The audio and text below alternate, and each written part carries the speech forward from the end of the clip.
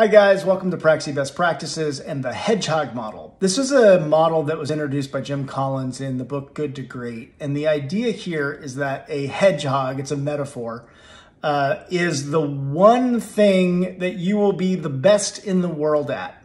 Just one. And the idea is that you need focus, you need strategic focus, and you can be the best at anything but not everything. So what's that one thing? And that's really about what your hedgehog is. Now, how do you get to that answer?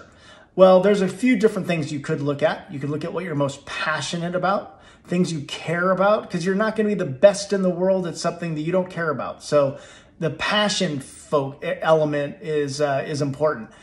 The competency what are you good at? What can you do that really elevates you above everybody else? So that's like that that skill set, that competency level.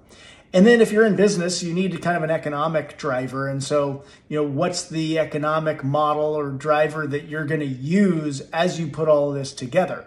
So as you put together your passion, your competencies, how can you make money doing that or make the greatest financial contribution doing that while focusing in on your hedgehog, that one thing that you are going to be the best in the world at and do it better than anybody else so that you can excel in business and with your own goals. So that's the hedgehog model.